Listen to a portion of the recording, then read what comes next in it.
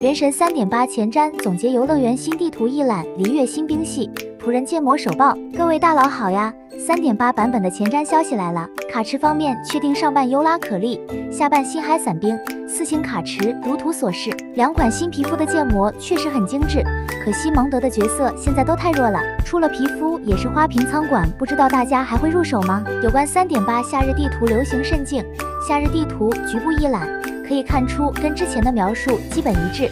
新地图还真是游乐场，标准大型棚子都看到了。久违的雨林地图终于告别沙漠了，只希望海岛搞得轻松点吧，度假就别打洞了。七圣召唤新增万叶、坎蒂斯、烟飞三张新角色卡，封面图真的都好好看，拍老玩家狂喜。新深渊阵容一览。下半按照惯例会有水神福卡洛斯的彩蛋，有关璃月新兵系四星仆人周本腿部建模一览，恶魔小子的感觉，仆人这高跟鞋后跟这么尖是要扎地上吗？JHT 说仆人不是火，火应该只是周本属性之一。仆人会在四点六版本进本并自击，木偶自击的时间是在四点三。隐藏很久的甘迪舅舅突然再次爆料，上图的这位璃月四星其实就是之前透露的那位武士少年，并表示武士少年会有两种设计，除了这个银发，还有一种是黑发，服装也会有所不同。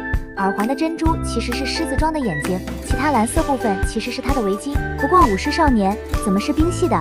我想象中是红红火火的，而且如此看来，他应该就是璃月海灯节每年一次的白送四星角色了。最后是有关苹果姐姐的最新消息，苹果姐的身份很大，是蒙德角色，舅舅用剑圣来形容。